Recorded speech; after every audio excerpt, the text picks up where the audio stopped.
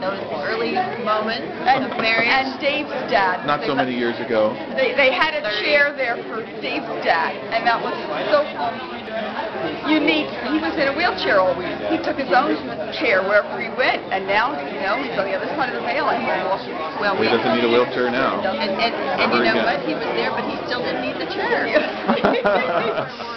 okay.